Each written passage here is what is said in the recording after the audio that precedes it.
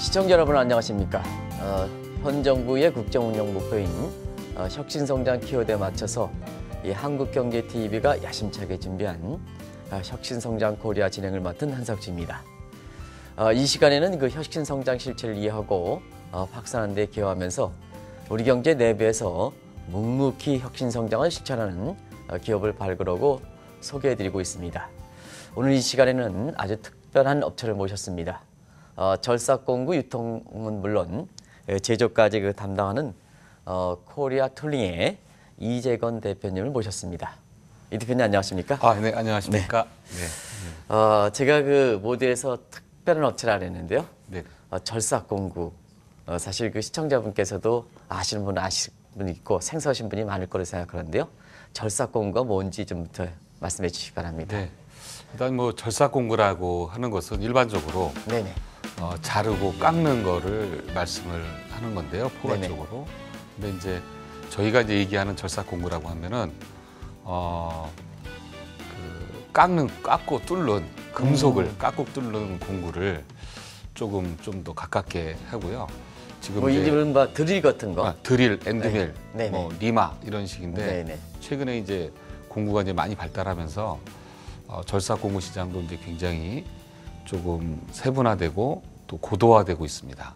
어, 절삭공구 관련된 이런 수출이라든가 수출을 하는 대상 국가라든가 수출 규모가 얼마인지 시청자분께 말씀해 주시면 어, 얼마큼 글로벌되어 있는지 좀잘 아실 거로 생각하는데요. 네. 그것 좀, 좀 말씀해 주시기 바랍니다. 저희 회사가 지금 수출하고 있는 나라 수는 한 50개국 정도 되고요. 50개국이요? 네네. 그리고 이제 특히나 이제 유럽 쪽에 저희가 조금 이제 강세가 좀 있습니다. 네네. 그리고 아, 금액으로는 지금 작년 기준으로 한 네네. 280만 불 정도 수출 280만 불 정도? 예. 네네. 그래서 이제 저희 회사 매출이 국내 매출 포함해서 한 180억 정도 되니까 네네. 어, 한15% 정도 수출 네네. 부분을 차지하고 있는 것 같습니다. 네네. 어, 글로벌 그 국가를 어, 수출 국가를 그 개발한다든가 또 해당 해당 그 수출 업체들을 그 이렇게 발굴할 때는 굉장히 좀 힘이 많이 들으셨을 거로 생각하는데요. 네, 네, 맞습니다. 혹시나 그 누가 되지 않는다면 시청자 여러분들 그 과정을 좀 잠시나마 좀 소개해 주실 수가 있겠습니까? 네, 뭐 저희는 첫 번째는 네네. 제가 2008년부터 네네. 2013년까지 사실은 해외 수출을 위해서 음, 많은 나라를 다녔습니다. 그리고 이제 저는 운이 좋게 네네. 또 정부라든가 지자체 그다음에 무슨 뭐 무역협회라든가 코트라라든가 네네. 기타 이런 이제 협회나 이런 정부 유관 기관에서 하는 해외 시장 개척단을 음, 좀 많이 다녔습니다. 네네. 그래가지고 어 뭐 사실 뭐 저도 뭐 영어를 조금 하긴 하나 뭐 유능하게 잘 못하는데 정부에서 이제 제가 비행기 싸기라든가 호텔비 내고 정부에서 좀 도움을 받아서 일단 여러 나라를 다니면서 네네.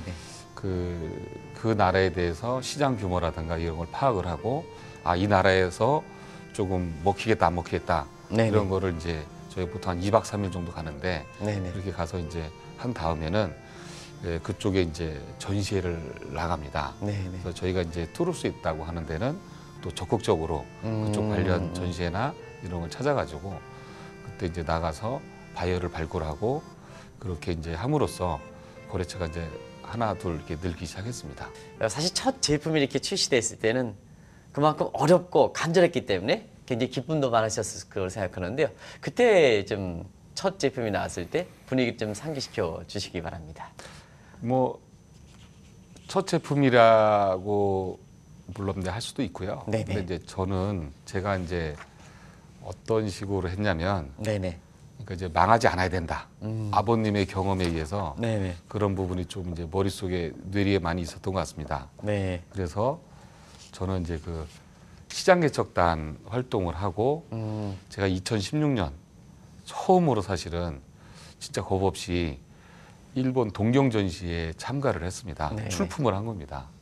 그래서 그 거기서 뭐 그냥 한번 가보자. 음, 그래서 진짜 뭐 제가 직접 만든 제품이 아닌 그 제가 이제 위탁 생산한 제품을 가지고 나갔는데 네네. 그때 봤던 거랑 제가 나가서 출품한 거랑은 차이가 컸습니다. 어, 어떤 게 컸냐면 일단은 거기 출품하고 있는 업체 중에 40%는 사실 유통업체였습니다. 아, 제조업체가 출품하는 게 아니고 네. 유통업체가 그 전시에 나온다는 사실을 그때 알았고요. 뭐 저도 제조 공장은 없지만 근데 유통업체로서 네네. 이거를 그 제가 직접 안 만들어도 얼마든지 전시에 나갈 수 있구나. 음, 그런 자신감을 좀 얻었고 그래서 이제 2008년도에 제조업 등록하고 자체 브랜드를 음, 등록하는 계기가 됐습니다.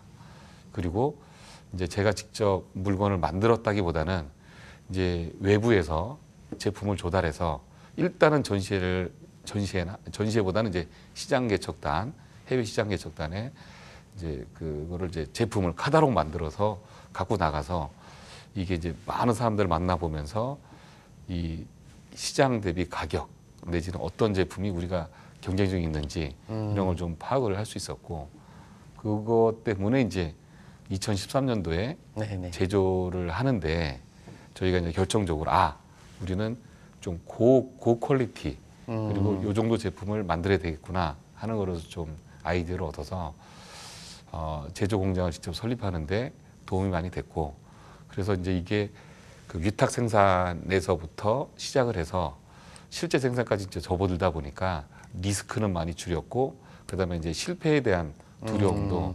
조금 많이 없었던 것 같습니다. 뭐 창업을 꿈꾸고 경우에 따라서는 실패를 한번 경험한 이런 분들도 상당히 많거든요. 네. 그분들을 위해서 좀 그때 좀 아픈 기억을 좀 말씀해 주실 수 있겠습니까? 네, 네네. 하여튼 뭐 사실은 96년 2월에 창업해서 네네.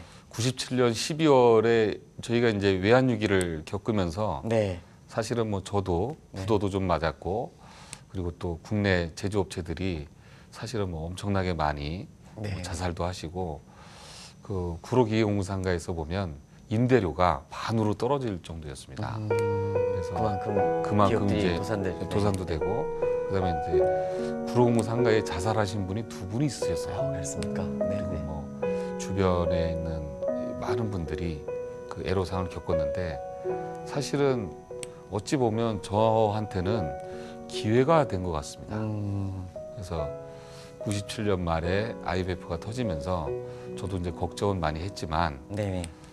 어, 좋은 자리 매장이 좋은 자리를 1층 매장으로 내려갈 수 있는 어떤 이제 저렴한 임대료에 내려갈 수 있는 기회가 생겼고요. 네네. 그리고 또 저는 처음부터 사실은 수입품보다는 국내 제조 업체를 그 발굴해서 수입품 이런 게 잘 나가니까 이거를 당신이 좀 제조해 줘라. 내가 열심히 팔아줄게. 그렇게 해가지고 왜 그러냐면 제가 이제 그 앞에 선배님들은 네네. 유통하시는 분들이 뭐 일제 제품, 독일제 제품 이런 것들을 에이전트 하거나 네네. 그걸 대리점을 내서 그걸 이제 쉽게 쉽게 막 그동안 팔아 오셨어요. 네네. 근데 제가 그분들하고 싸워봐야 그걸로 수입품 가지고는 그분들은 자본력도 있고 그다음에 또 기술력도 있고 그런 거 가지고 제가 싸워서 절대 이길 수가 없겠다 싶어서 저는 처음부터 음. 국내 제조업체를 키우자 국내 제조업체에 대해서 이거를 좀 키우자라고 생각해서 국내 절삭공구 제조업체를 잘 만드는 업체를 엄청나게 찾아다녔습니다. 네 네. 그리고 저는 매입처가 굉장히 중요하다 생각을 해서 그런 업체들한테 이제 뭐 이런 아이템 만들어봐 저런 아이템 만들어봐 이걸 계속 이제 권했죠. 그래서 조금 이제 수입품은 이런 게 잘 나가더라. 이걸 한번 만들어 봐라. 근데 처음에 그분들이 이제 좋은 제품을 만들 수가 없죠. 근데 이제 그래서 뭐 품질도 떨어지고 가격도 싸고 음, 근데 이제 그러다 보니까 소비자로부터 외면을 좀 받았어요. 네네. 가격은 반값인데 품질도 반밖에 안 나오니까 음, 그 입장에서 야 이거 독일제나 일제 써야지 네네. 굳이 한국제 쓰고 싶지 않다 그렇게 말씀을 할 말이 없잖아요. 근데 이제 IMF가 터지면서 환율이 1,700원, 음, 뭐 1,400원, 1,500원 올라가니까 이제는 4분의 1 가격이 된 겁니다. 네, 국내 네, 제품이 네. 그러다 보니까 이제 거기다가 이제 외환을 쓰려고 그러면 이건 수입하는 사람들은 엄청나게 타격이 있죠. 통제가 있었죠. 네네. 네, 그래서 그, 그 어쩔 수 없이 제조 공장에서는 국산을 야 이제 국산 써야 되겠다 그런 생각이 들어서 저희는 외래 이제 98년 그부터는 매출이 더 올라가기 시작했습니다. 네, 네, 네. 물론 이제 그러면서 이제 많이 만드니까 네 네. 국내 업체에서 자주 만들게 되니까 품질도 또 좋아지고 있는 거예요. 네 네 네. 네, 그래가지고 저희 입장에서는 IMF 때 외려 성장할 수 있는 기회로 어, 우- 이, 내가 뭐 원해서 그런 건 아닌데 네네. 그냥 시대에 맞게 제가 그거를 잘 선택해서 된 것 같고요. 2008년도에도 사실은 이제 저희는 아파트형 공장 가산동으로 들어갔는데 네네. 어, 256평 한 10억 주고 이거를 건물을 사서 들어갔어요. 네네. 근데 금융위기가 미국발 모라 미국 금융위기가 왔다. 서브프라임 모기지론. 서, 어, 네네. 서브프라임 어, 어, 모기지론. 네네. 그래가지고 뭐 이게 굉장히 뭐 대한민국도 엄청나게 또 힘들 것이다. 어 이런 얘기 막 들리는데 걱정은 좀 되더라고요. 그래서 제가 고민 고민했죠. 그래서 어떻게 할 것인가. 그래서 아 그러면 나는 글로벌 시장에 뛰어들겠다. 음. 그래가지고 2007년 말까지는 제가 국내 영업을 하다가 2008년 1월 2일부터 네네. 저는 국내 영업에 손을 띄고 오로지 해외 영업 쪽으로 그 시장 개척단을 모조리 뒤져서 네네. 해외 영업 쪽으로 이제 전념하는 그런 계기가 됐습니다. 네네. 그래서 내가 글로벌 시장에서 정말로 지금 97년부터 이 2006년 7년까지 국내 제조업이 이제 많이 성능이 좋아져서 혹시 팔릴지도 몰라 음. 이런 생각을 좀, 좀 많이 좀 들었고요. 이때쯤이면은 뭐 한번 해외로도 한번 해볼까? 음. 그걸 2006년부터 이제 생각을 하고 있었는데 네네. 2008년 그 모기지론이 나오면서 서브프라임 그 또 모기지론이 나오면서 네네. 환율이 또 올라갔지 않습니까? 네네네. 그래서 다시 한 1,300원대, 1,400원대 되면서 사실은 경쟁력이 굉장히 좋아졌습니다. 아. 그래서 해외에 나가서 사실은 한국산을 알리면 일단은 오 일단 싸다. 음. 두 번째 품질 괜찮다. 그래서 이제 가성비 가지고 그 조금 이제 조금씩 조금씩 먹히게 들기 시작했죠. 음, 특별히 뭐 이렇게 어, 철학 같은 거 내지는 어떤 어, 주력하는 그 어떤 포인트 같은 거 이런 거 좀 같이 말씀해 주시기 바랍니다. 네, 하여튼 뭐 저는 이제 창업할 때 제가 96년도 창업할 때 이제 사운을 네네. 아, 열정 비전 신의로 정했습니다. 아 그렇습니까? 네, 그래서 제가 제대로 봤군요. 네네. 예, 예, 예. 그래서 뭐 어, 그렇게 하고요. 네네. 2008년도에 저희가 그 가산동으로 본사를 옮기면서 사옥도 구매하고 옮기면서 그때 이제 그 저기 내세웠던 게 경영 이념, 음. 경영 이념을 이제 코리아 툴링의 경영 이념을 세워서 네네. 신 어, 그 가치 창출, 음. 그다음에 신개념의 가치 창출, 그다음에 뭐 노력과 봉사 네네. 이렇게 한 조금 좀 길어서 다 기억 못 하는데 네네. 아무튼 이제 경영 이념을 만들었고요. 네네. 그리고 작년에 네네. 2017년도에는 또 새롭게 저희가 이제 어, 사옥을 또 확장 이상 네. 또 하면서 아, 핵심 가치를 또 선포를 했습니다. 네네. 그래서 2017년도에 세운 핵심 가치는 정직과 도전입니다. 아하. 그래서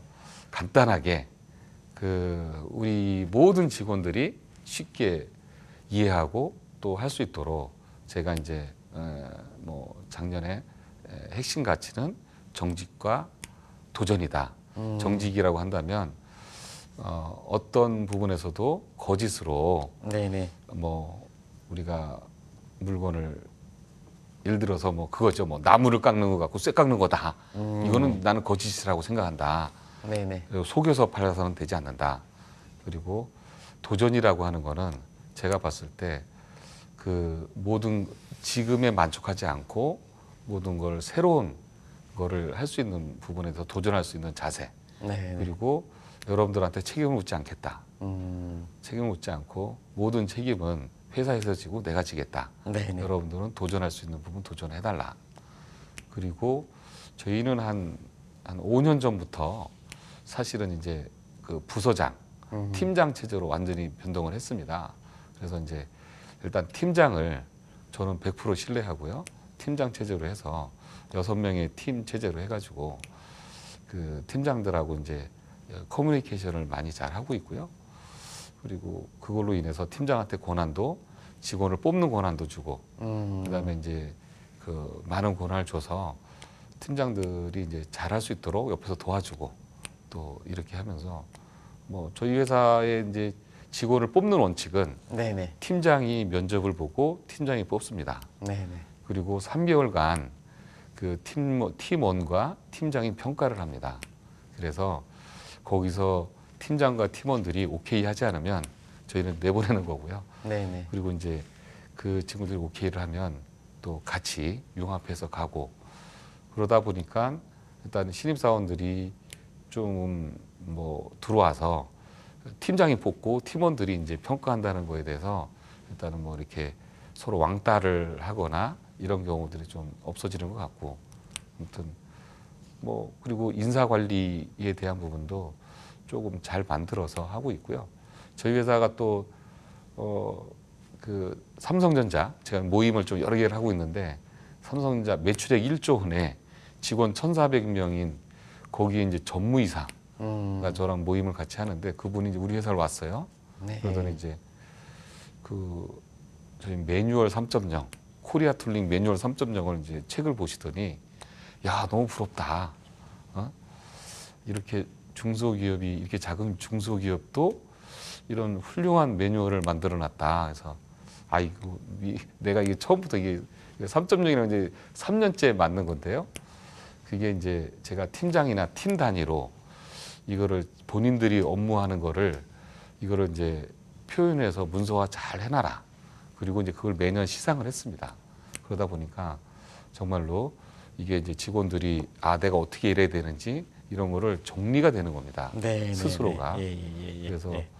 뭐 어쩔 수 없이 직원들이 좀 중소기업은 좀 바뀔 수밖에 없는 상황인데 거기에 대해서도 저희가 이제 뭐 매출을 계속 조금씩 조금씩 늘어나가고 경쟁력을 확보해 나가는 게 저는 그 매뉴얼을 자체적으로 스스로 잘 만들었다는 게 좀 효과 보지 않았나 싶습니다. 아, 향후에 지금 이 대표님이 그 경영하시는 이런 그 절상 공부 이런 부분이 앞으로 어떻게 어, 변화될 모습을 찾아갈 것인지 좀 말씀 좀 해주실 수 있겠습니까? 맞습니다. 하여튼 네. 뭐 저희 절삭 공구는 이제 근본적으로 이제 자르고 깎는 거기 때문에 네, 네, 어떤 거에 민감하냐면 이제 소재 산업에 굉장히 네, 민감합니다. 네, 네, 네. 그래서 소재가 바뀌면 네. 과거 같으면 이제 요즘에는 이제 알루미늄 가공이 굉장히 좀 많아졌고요. 네, 네. 제가 보면 조금 있으면 뭐 두랄미늄 음, 내지는 또 티타늄, 음. 티타늄 가공이 가공이 네, 좀 늘어날 것 같습니다. 네, 그래서 그렇게 소재가 단단하고 가볍고 네. 또 유리 섬유 그다음에 또 뭐 FPRP 뭐 네. 여러 가지 그런 소재가 이제 그 다양해지면서 절삭 공부도 거기에 맞게끔 변화하리라고 생각하고요. 또 그런 부분은 끊임없이 연구 개발을 해야 된다고 생각합니다. 네, 네, 네. 근데 이제 저는 사실은 뭐 공부 제조업에 처음부터 이거를 뭐 뛰어들어서 거기서 일인자가 되기는 어렵겠다 이런 생각을 해서 일단 뭐 그 부분은 안 하는 건 아니지만 네, 네. 저는 이제 4차 산업혁명 이 조금 더 좀 아까 말씀드린 도전이라고 그랬지 않습니까? 네, 네, 그래서 2016년도에 새로운 도전을 좀 기획하고 있습니다. 네, 네, 저는 이제 그 IoT를 겸비한 네, 네.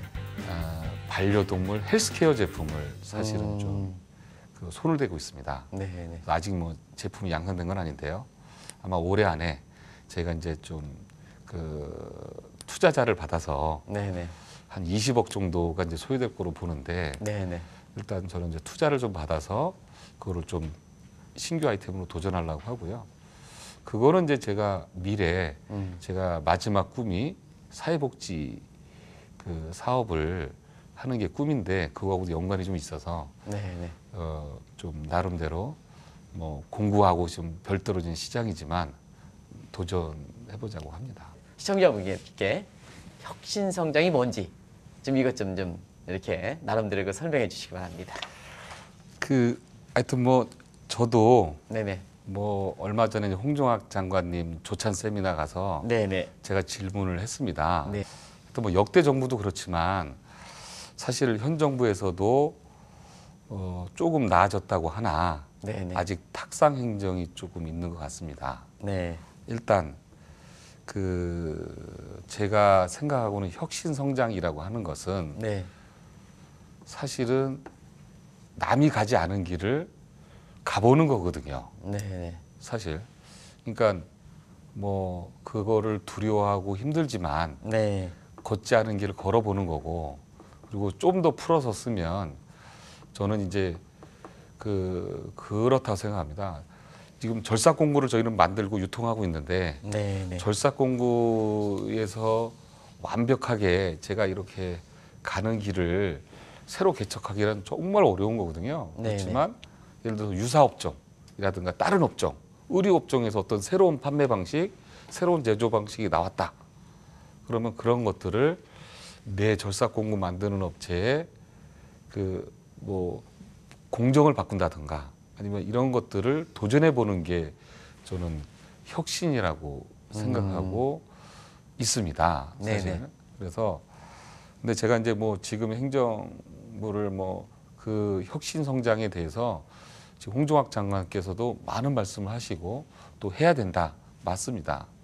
근데 이제 조금은 그 부분에 대해서 저도 동감을 하고 도전할 수 있는 길을 이게 해주시면 되는데 어 제가 탁상 행정이라고 하는 거는 들여다 보면 사실은 어떤 게 있냐면 7년 미만 기업, 음. 그다음에 벤처 기업, 만 30세, 39세 미만 기업 이런 업체만 도와주겠다. 근데 혁신이라는 게 젊다고 혁신이 나오고 기준이라든가 나이에 의해서 구별될 수 있는 성질일 것은 아니죠. 그렇습니다. 그렇지 않습니까? 그래서 네네. 저는 제가 이제 뭐 현 정부에서 만약에 좀 해주신다면 그냥 그뭐뭐 좋습니다. 뭐 AI 아니면은 뭐 로봇, 자동화, 기타 여러 가지 3D 프린트 여러 가지 좋은 아이템들이 많고 한데요. 아, 그런 그런 쪽으로 도전하고 그다음에 열심히 해보는 업체라면 누구라도 사실은 기회를 주는 게. 기회를 주는 게 맞지. 네네. 이건 무슨 뭐 39세 미만이어야 돼, 창업 7년 미만이어야 돼, 이런 걸로 자꾸 이렇게 좀 탁상 행전 하시고 하는 거는 조금 저는 안 맞다고 생각하고요. 아주 좋은 지적이십니다. 어, 하실 말씀이 상당히 많으신 것 같은데요. 네네네. 그 앞으로 그 이 대표님의 개인적인 어떤 계획이라든가 그다음에 어, 코리아 틸링의 회사 전체 어떤 계획이 있으시면 이렇게 시청자분한테 좀 말씀해 주시기 바랍니다. 저는 사실 뭐 이 여기 이제 참석하면서요, 저도 정리를 이렇게 한번 하게 되더라고요. 저의 인생이라든가. 이런 거. 네네 네. 저는 이제 제가 중학교 때 세웠던 꿈이 있습니다. 네 네.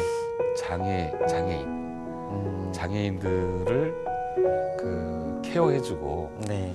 장애인들에 대해서 저는 이제 간단한 케어뿐만이 아니고 그분들이 정상적인 삶을 할 수 있도록 도와줄 수 있는 뭐 기구라든가 교육이라든가 그리고 그런 부분들을 내가 사업을 해서 성공을 하면 꼭 그런 그 그런 사업을 시작하겠다. 그리고 이제 제가 나이도 65세로 딱 정했습니다. 네. 65세 때는 대략 보면 한 2030년 언저리가 될 것 같습니다. 29년, 30년. 네네. 그때는 제가 그 장애우를 위한 그 복지 시설 그리고 그분들이 어, 풍요로 그러니까 일반적인 삶을 살 수 있는 그 도움을 줄 수 있는 복지 기관을 설립해서 저희 그 이 삶에 최소한 뭐 우리 직원들과 우리 자식들한테 아 우리 아빠는 좀 잘 살다 갔어 존경받는 아버지가 되고 싶고 뭐 그런 걸 그 사업을 꼭 이루고 어, 가고 싶습니다. 네. 네, 꼭. 그렇게 되시길 바라, 바라겠습니다. 저도 이렇게 언론에 있는 한 이렇게 코리아 툴링이 또 이 이 대표님의 어떤 그런 계획이 꼭 이렇게 성사되기를 좀 이렇게 옆에서 이렇게 지켜보겠습니다. 어, 시청자 여러분 오늘 비교적 좀 장시간 동안 우리 코리아 툴링의 이 대표님 모시고 이렇게 여러 얘기를 좀 해봤습니다. 아마 혁신 성장과 관련해서 어, 정부의 그 어, 어떻게 보면 많은 그 이렇게 권고사항 어떤 것든 아주 오랫동안 중소기업을 하시면서 나름대로의 어떤 어, 이렇게 오랜 경험을 바탕으로 해서 이거 말씀하신 것이 아닌가 생각합니다. 상당히 피부적으로 와닿는 그 지적이신 것이 아닌가 생각합니다. 어, 혁신 성장이란 이 대표님 말씀대로 어, 형식이 아니고 외치는 게 아니다. 아, 정말로 기업인을 위해 줘야 된다. 아, 기업인을 위해 주는 것이 결국은 어, 경제에서 보면 어, 풀뿌리 해당되고 풀뿌리가 튼튼해야 어, 그 위에 이렇게 성장하는 어, 이렇게 생육하는 여러 가지 잎이라든가 과일이 풍성하게 매는 거거든요. 그게 아마 아, 대통령께서도 강조하신 혁신성장의 마지막 모습이 아닌가 생각합니다. 시청자 여러분, 오늘 이 대표님의 인터뷰 내용 어, 곰곰이 생각하면서 어, 비단 이런 음, 기업뿐만 아니라 아, 다른 삶에 있어서도 많은 그 시사점을 던져주는 것 같습니다. 우리 사회가 지금 미투 운동이라든가 혼란한 사회에서 아주 이 대표님이 지적하신 그런 문제가 나의 사회 정화에 아주 훌륭한 계기가 됐으면 하는 바람입니다. 아, 장시간 동안 시청해 주셔서 고맙습니다. 아, 다음에 뵙도록 하겠습니다. 감사합니다.